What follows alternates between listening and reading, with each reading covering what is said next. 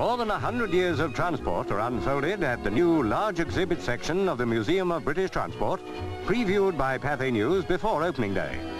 Electric trams include the first one to be used in Blackpool and one from the Isle of Man.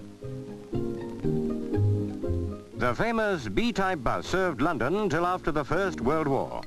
Some were taken over the Channel in 1914 to transport troops. Londoners liked the open top deck when it wasn't raining. But perhaps the railway section is the most interesting.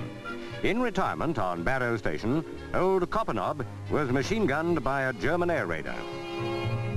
Comparatively a youngster built in 1902. Nearly 100 years old is Queen Victoria's Saloon.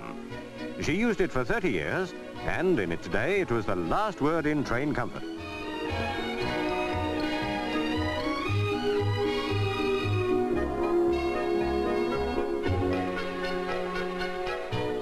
Among old fire engines is one used by the Great Western Railway at Swindon. The museum evokes memories of more than a century.